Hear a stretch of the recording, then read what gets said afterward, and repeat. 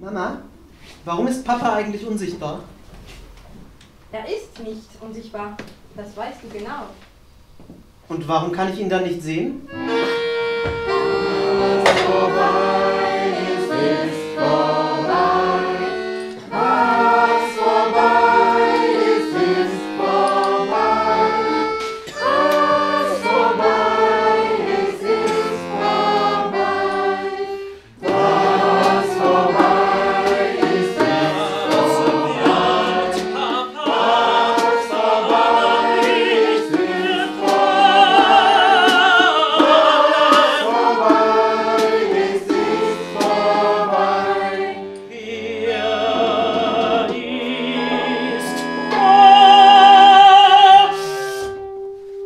Erinnerst du dich nicht an Ludwig? Du musst ihn verbergen! Jetzt kämpfen wir.